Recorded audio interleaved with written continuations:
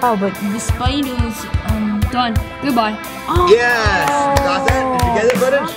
Yeah. That's the one that closed yesterday and closed again. that was good. Huh? See you, Get it spider.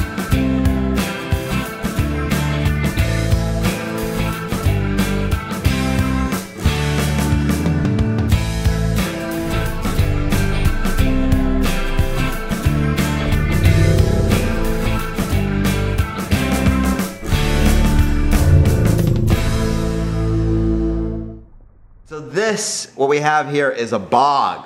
Bog, you say? Bog? What's a bog? Well, I'll tell you what a bog is, since I said it four times.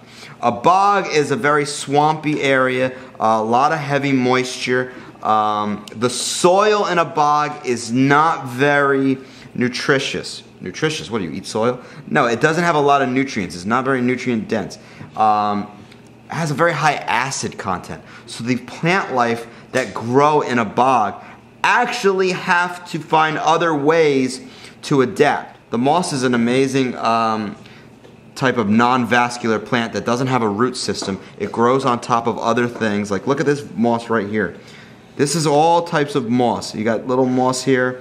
This is a cool moss, ground moss. It grows right over the soil because it has no root system, doesn't need it, and it just actually spreads through spores. Spores will spread. amazing plants that grow in bogs are carnivorous plants. That's right, folks. Meat eating plants. Watch your fingers. No, just kidding. They will not attack you. Matter of fact, they don't really attack. They don't even know that they're consuming uh, other things. All they know is that their systems just know that they're in a soil system that doesn't have good nutrients. So they need nutrients. So where are they going to get that extra nutrient? The pitcher plant. Come close to the pitcher plant here.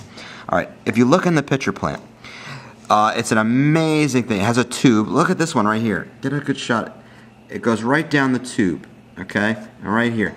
In the pitcher plant, there's a scent that's going to attract insects. The insect is going to go over to the pitcher plant, and it's going to look at these hairs. There's all these hairs. Can you zoom in on those hairs that are going in a downward pattern?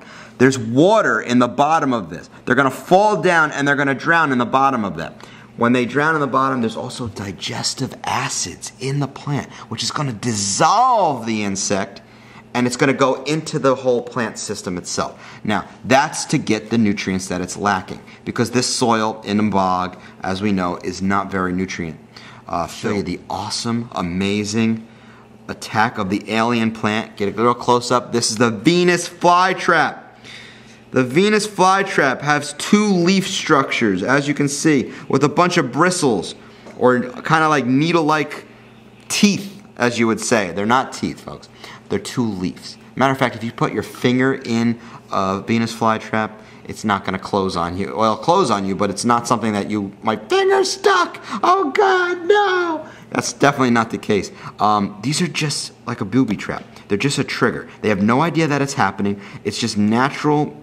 Uh, has this plant has evolved so that this these leaves close because there's a uh, once again the insect is attracted.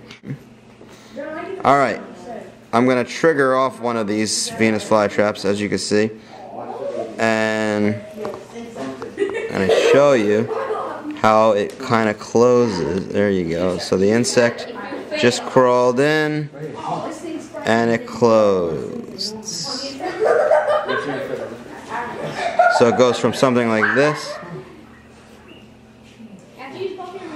to this. Now this is a closed Venus flytrap. Now you don't want to do this often because if there's nothing in the Venus flytrap and it's closed, then um, it uses too much energy and it'll turn black and die.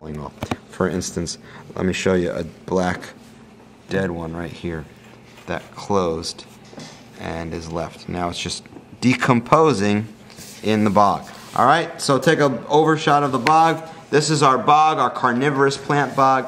Um, eating the insects of the world. Mmm, delicious. All right, close this up.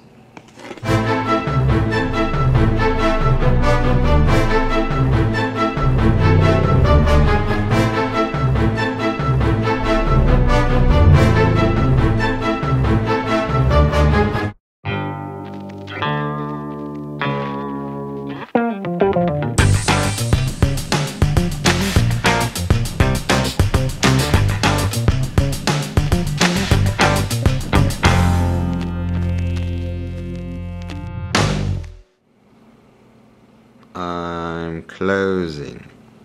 I'm closing. I'm not closing. I don't want to close. And I crawl right here, and what happens? I crawl right across the bit. Right. I crawl right across here. Okay, that didn't work. I'm a bug crawling on you. What do you do? You make me look like a fool in front of everybody. well, let's go to this one. I crawl right across here. What happens when I crawl? What happens when I crawl across these? Okay.